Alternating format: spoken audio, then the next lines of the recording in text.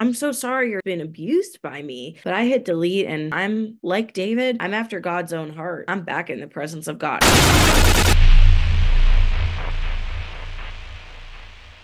Welcome back to IHOP KC Secret. I'm Anastasia. Hey guys, it's Shelby. Welcome back to IHOP KC Secrets. This episode, so you guys know, um, we usually try to keep things pretty lighthearted with humor, a few laughs here and there, but this episode is a little bit weightier. We've really been grieving and processing everything that's going on in Kansas City and the greater body of Christ. And so just a little, this episode's a little bit different. So I hope you guys enjoy it. We'll be just sewing together a lot of different thoughts from a lot of different places and hopefully it resonates with your heart too. Yeah, good. So what happened last night? So last night it hit me again everything that has been happening with the house prayer. I was falling asleep. It's been a very very cold winter here in Kansas City. Last week it was actually colder here than it was in Alaska. Just to give some context. Wow. So it's been like negative three with like wind chill. So it's just been cold. I think the cold does something to your heart. I'm going to be for real. Like it just makes your heart aware that you need God and you need com- the comfort of the Holy Spirit. But, anyways, last night I was falling asleep and I started crying, little winter blues, just some things I've been processing with the Lord. And then a fresh wave of everything that happened with IHOP hit me again. I mean, I had to say it was like 12:30 at night. I think I texted you. You texted me back in the morning. I mean, everyone was sleeping. Like just a, a huge paragraph. But that moment where you kind of realize it's like that betrayal moment where you realize, wow, nothing is ever the same. And it wasn't, it was a unique pain. It, it felt deep in my soul. This whole situation with IHOP has been a tearing, like an absolute tearing. No one could could have foreseen it. I think about the body of Christ and how this wound now has been created within the body of Christ of we thought we could trust this person with our whole heart and he's admirable and righteous and loves God and preaches on purity and holiness and then he is um fully exposed and has betrayed his own heart he's been a wolf betrayed in Lord yeah and betrayed the every person that's gone there and it's like really painful it's wild um I don't, don't even know fully why I'm struggling to communicate how I feel about this on camera. It almost feels surreal. It actually comes in waves. Like if we could have been you know, recording last night, or I would have called you when I was crying, we, we would have seen the raw emotion now, kind of talking about it. It kind of like become, it kind of disappears. Yes, it comes it, in waves. It's, it's bizarre that that's how, yeah. Like right now, I don't feel that pain on my heart, but last night I cried myself to sleep. And I will say that the first week, I found everything out. I think I cried myself to sleep for like four or five days. Um, just this, it's like without words. You're just like, wait, what's happening? Now, is that when you read about Kansas City prophets? No, but so with trauma um it could have been actually. So with trauma things happen so quick in your brain that some of that i can't even remember. Like remember how on our first episode you read back the text? I don't even remember you texting that. It's kind of like a car accident or when someone witnesses a crime and then they say it's one way but then um a couple days later they say actually this is what happened like some of their memory comes back. I mean i was hearing from people from all over the country, all of my old friends and colleagues, no one knew what was going on. And social media was blowing up and people couldn't fathom. And when this first happened, there was a very large camp of people who it was very divided there was a large camp of people who said Mike is innocent. These are false allegations. Because these people want to take over the church or something. I don't know. Or because everything at IHOP is so spiritualized with with the prophetic language is so spiritualized that it's like we're too far up in the clouds and we lose like the practicals. Yeah. For example, oh, if something speaks out against Mike, it's not that he actually did something, it's that um it's the accuser of the brethren. It's He's attacked. It's the black horse. This has already been prophesied. So there was this huge camp of people that thought that. And then there was this other camp of, I mean, I literally had friends calling him disgusting. And that was really hard for me to hear too. I was like, no, no, no, no, no. We can't say that yet. Like that's so harsh. Like that's yeah, so you didn't believe it. It just cut my heart. Like it just cut my heart. I'm like, well, for one, as Christians, who are any of us to call another Christian disgusting? I mean, we all have fallen short of God's glory are we've all done disgusting things without the blood of Jesus. So it was just trauma after trauma after trauma. It was finding out, then having people I love say, This is a disgusting man, this is a predator. And you're just finding out, you're like, Wait, what do you mean? Because in the first stage of grief, it's denial. And so I was in denial for a while. I want to say almost probably month, yeah, three weeks. I would say about three weeks. And That's about right. About three weeks, which yes. is a long time if you think about it. Yeah, because I know we initially and talked. Day, no, go ahead. Go ahead. I was just gonna say, I remember we initially talked about it. You were definitely at that moment kind of like leaning towards, okay, yeah, maybe he is guilty a little bit. You're a little bit of like your practical was coming out, but then right away you were like, but you know, innocent until proven guilty, innocent and proven guilty. You don't yeah. know yet. We don't know yet. And then, yeah, about three weeks, four weeks later, you were like, well, then it started coming out. Yeah. Well, right? then just after the initial shock wore off, I just settled. I remember I just settled. I think I was doing hair and I was like, okay, um, this was a man who was once 40, and the allegations have to do with someone who's like 19, 20, and they're doing ministry together. They're going to other countries and ministering. And I was just thinking of how something like that could happen. And so one day it just switched. I go, you know what? He probably did do that. He probably did have sex with these different women. He probably maybe said, Hey, my wife's going to die. Don't worry. We can kind of do this now because she's going to die anyways. And we could link back up. I mean, it's dark. That's dark. That's dark. Really dark. However, marriage is such an intricate and deep bonding covenant relationship that even when someone makes that abrasion, he could have confessed to Diane and said, I'm so sorry I did do that. And that's why they stay married. I don't think that she just found out about it this year. There's no way. I think she she's Yeah, you think so? Yeah. Uh, maybe, yeah.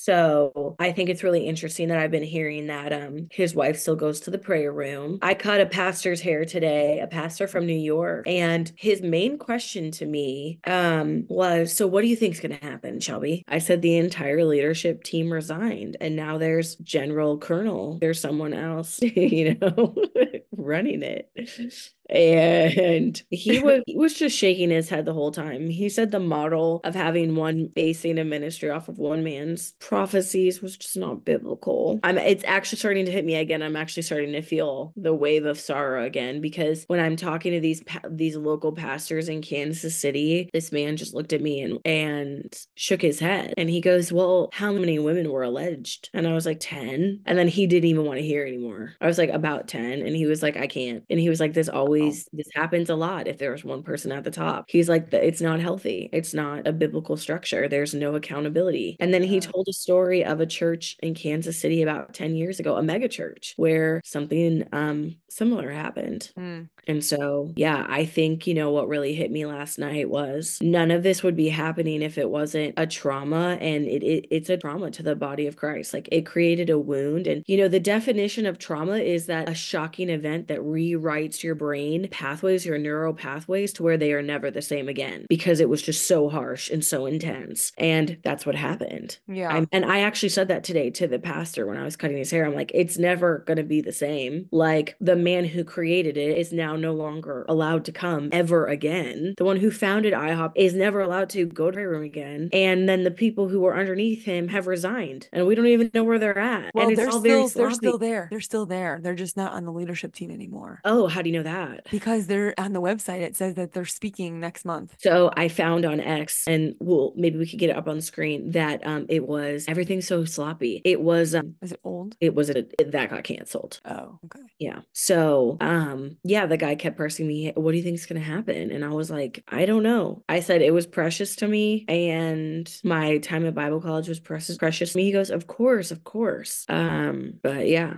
it was an interesting talk with him for sure. I got to get my uh, charger. Hold on, because it says right. Mac about to die. All right. Okay. Don't eat too much peanut butter, baby. Wait, so what was that Misty LLC with Rex? Name is Comer. Okay, so the Misty LLC girl, I just it's just like what? That's an odd name for a trucking company, I find that very bizarre, especially because Rex has allegations of abusing a minor that are public. You can look up the the um, court records, and that's disturbing. I'm sorry, I don't know why you would name your company after a worship leader that you're not related to. Um, Kansas City is known to be a human trafficking hub, so with all of the highways in the country, so I do think it's bizarre that they would name a company after a young woman. Why? Words. Why would you do that? What's really going on here? How deep does this go? I remember when I saw that, I read that today about the Misty LLC, and I was um like on a break at work, and my whole body had a chill. I'm not gonna lie. When Yeah, I well, so pe- for people though that don't know about who this Rex guy is, do you want to explain him? So Rex was around at the beginning of the House of Prayer. He's good friends with Mike. Mike takes a vacation every um January to, To Florida. Florida. It's well known. He always talks about it from the stage. And Rex um poured in money into the House Prayer. He's a sponsor, he's a donor. And um he also has charges of soliciting a minor and sex crimes with a minor. So When was that? um, I'm not sure. We'd have to look up the documents. Maybe 25 years ago.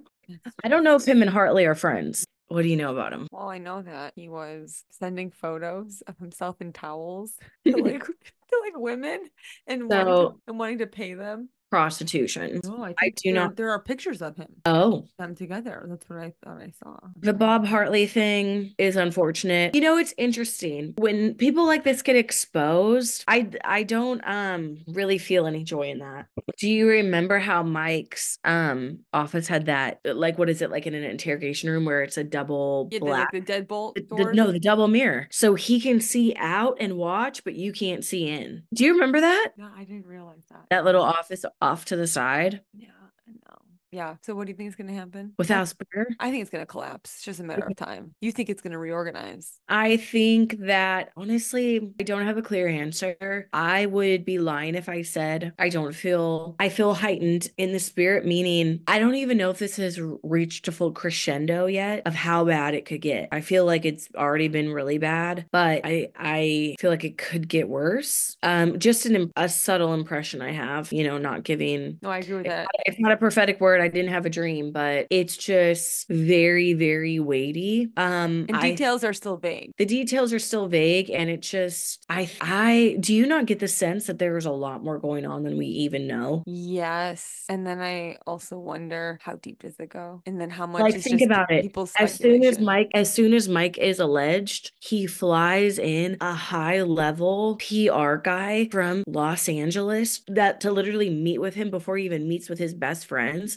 if you had any and then turned away of- his best friends. Yeah, if you had any shred of innocence, you would be like, "Hey, yo, I love you guys. You know I didn't do this." Period. You wouldn't hire a private attorney and a PR person immediately to represent you. And then hide yourself away from all your friends. Do you feel like he has to be kind of like sulking and depressed over this? Or do you think he's just So if you read the emails that were released um between him recently? No, the ones from him and Jane Doe's husband. Yeah, yeah, yeah, yeah. I yeah, I remember those. He said it's the great the greatest pain of the great he's experiencing one of the greatest pains of his life at the end of his life, which I actually think is pretty sad too. But I mean, he did it to himself. Yeah, I know. I In feel God's name, under God's name. I feel like that's the type of stuff where it's still hard for me to process that. And I think it's going to take me years to process that a while. I can't, I can't comprehend it because it's so dark and evil because the foundation of IHOP is purity, holiness,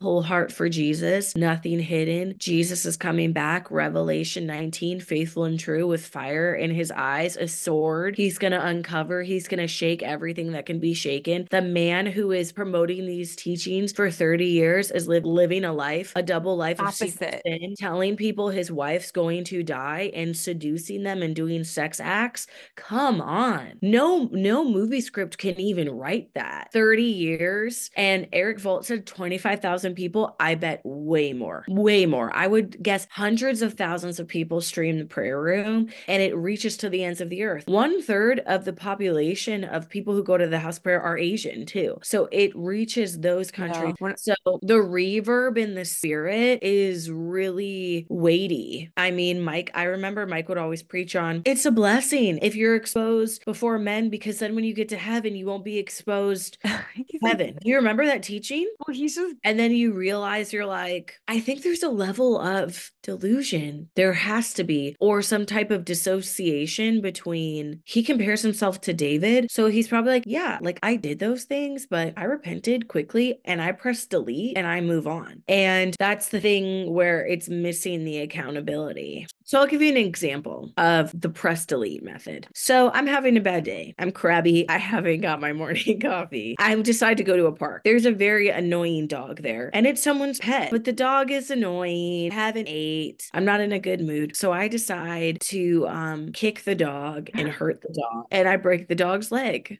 And then the owner of the dog is, and so now the dog is limping. The dog has been abused. And so the owner of the dog is like, hey, what the heck? This is my dog. This is a public dog park. What are you doing? That was so intense. And I go, oh, Sue, I actually just repented for that. I hit delete. I'm so sorry your dog has been abused by me, but I hit delete and I'm like David, I'm after God's own heart. I'm back in the presence of God. I'm actually heading to the prayer room. Hey, you know, your dog, whatever, bye. That's yeah, that's a good example. it's a small comparison of what's going on with Mike, except Mike didn't even acknowledge that he wronged these women in his statement. He said my moral shortcomings, but I'm not admitting to anything. I do think that we have to realize that this is a legal situation and we are not privy to that necessarily yet if it's actually going to go to a court. We're not necessarily privy to all of these documents. So maybe legally the only thing he's allowed to say is my moral shortcomings. So people really coming down on him on that statement. What is he going to say? What is he going to say? Yeah, I had oral sex in the back of the prayer room. Sorry about it. I mean, would have people felt more satisfied? Would people have felt more satisfied? I think we like laugh a little bit because it's so uncomfortable. I mean, what did we think the public statement was going to say? Yeah, I had sex with a bunch of different women and I, you know, whatever. Sorry. It wouldn't have made us feel any better. It's already um, Out there. It's already egregious. It wouldn't have made, we don't need to know the nitty gritty details. I personally don't want to know. Wait, but so at that point when he gave his statement, that was before emails with Jane Doe's husband were leaked. It all came out at the same time, Okay, so it's kind of all all happening. within the same time. Okay,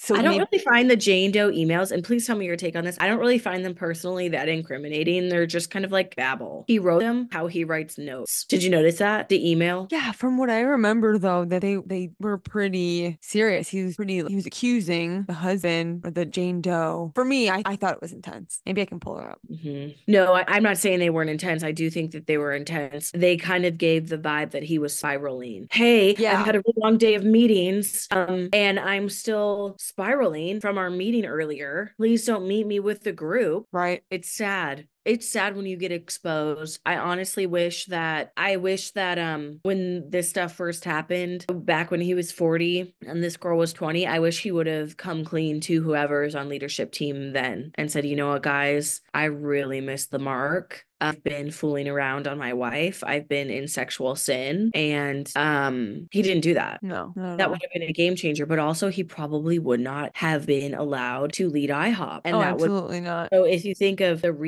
reverb, it happened the way it happened. I can't go back now, but it is interesting to think about. Oh No, so it was a six-page email that he wrote. Oh yeah, you found it. Let's go through it. Must have been also to the other person. and he- Mike Pickle is really in a pickle. But he sent it to himself too. Oh no, to Rebecca Hopkins. He forwarded it to himself. I think that's how it leaked. I don't know.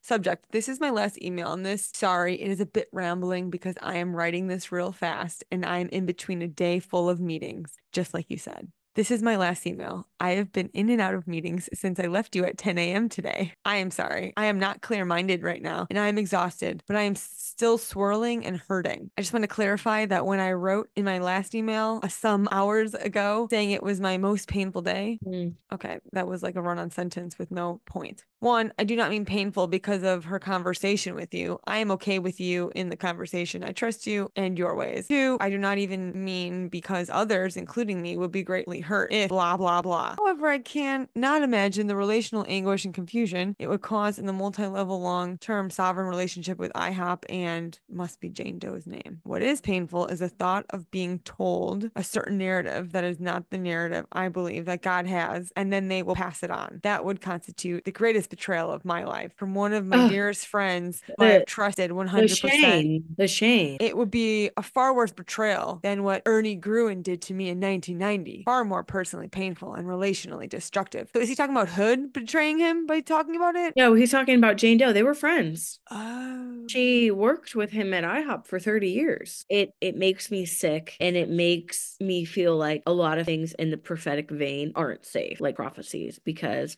Yeah. we were always taught at the house of prayer to not prophesy dates, mates, and babies. You just don't go there. You don't tell someone you're marrying this person, you're having this many kids, and you're moving to Africa. It's like against the rules. So, why this is so weighty and so painful is that Mike egregiously broke rules and abused the spirit of prophecy and created mixture Yeah. and it's it's um it's painful because it's a gift from the lord and it's It was like it was manipulated for his own selfishness he does deny saying that. He said that in a statement i deny ever saying that my wife was going to die. So when it comes down to that it's their word against his. So i wasn't there. I don't know if he said that or not So he's but in Florida. did say really manipulative and dark. So Anastasia, I want to hear your thoughts.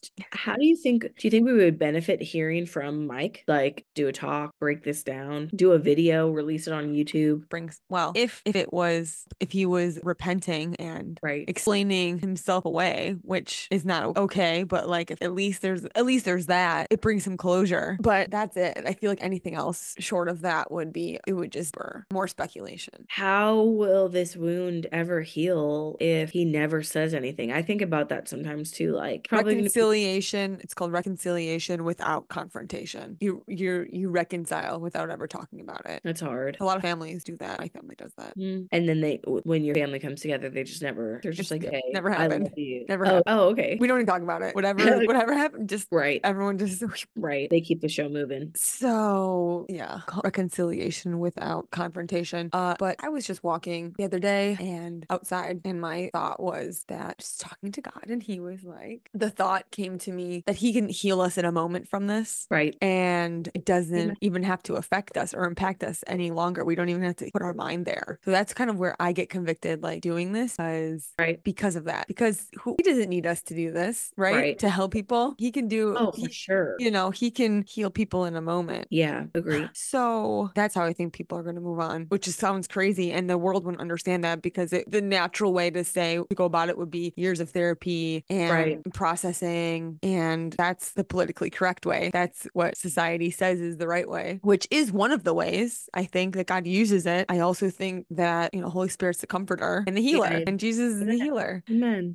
So that's what the word says. However, those things have been wrapped up now in all this weirdness and mixture. So it's hard to even sometimes believe it, but it's written on our hearts and we just have to just believe it. Yeah, that is really beautiful, the healed in a moment thing. I think that Yeah. How do you think? I think we might be in a phase where there's like this kind of how I was crying myself to sleep last night. There's over this, like there's this right now. I think there's this corporate cry and tearing deep within everyone who ever has gone to IHOP to where it's like a baby crying, right? Like it's just like this, it's really deep. It's Like like, wailing. Yes, like deep, deep, deep. And I think that's the moment that we're in now. But I do think that moment of the Father's love and a baptism of his love on our hearts and the revelation of who Jesus is can come in a moment and heal us. Yeah. And I think it can be really beautiful. But I do think right now we're still, people are. It doesn't take away the way that we're going to feel. Eric is still doing updates. Bob Hartley is being accused of paying women for sex. And Right. he just prayed in the prayer room a couple weeks ago. Now he's no longer allowed to go there. But there's I feel like sets up a certain kind of precedent now, though, because as soon as I heard that, because now it's like they can ban anyone from the prayer room, which of course they should have banned him, but like at the same time, it's kind of what are the laws? Are they, you know what I mean? Do they have laws for it? no, don't I mean it's a prayer room. I right, mean, exactly. It's like a li- like, public shave it. library. You just get to go unless it- Yeah, like Bob can shave his head and wear different clothes and go in there with Travis Kelce. Like, what are they gonna do? I mean, they could escort him out, but that's actually a really good question. I know that security does have a list of people who, if they come in, you know, they get kicked out or escorted out. But also, security can be maybe not always paying attention. I'm sure stuff slips through the cracks. I mean, there's all the, there's always been rumors for 10 years that witches come in and they curse the people on stage, and then they're not allowed to come, but they still are always there. I personally think that that's that could be true, but I haven't. And oh, there's you know, Glenda the good witch over in the corner, bewitching.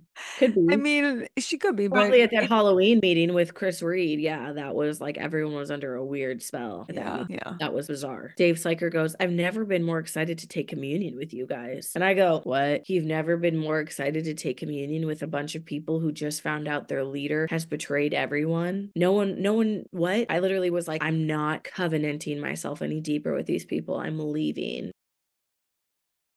Hey guys, thank you so much for um, listening to IHOP KC Secrets. We would love to hear your feedback, how you guys are feeling about the current situation that's unfolding. We would love for you to like, comment, and subscribe for continued updates. We want to hear from you and we want to start some dialogue in the comments. All of this stuff is super weighty and intense. I personally have shed many tears over it, even last night. It comes in waves. And so I'd love to talk to you guys about it. Good. That's Yeah, good. I love yeah. that. That's a good wanted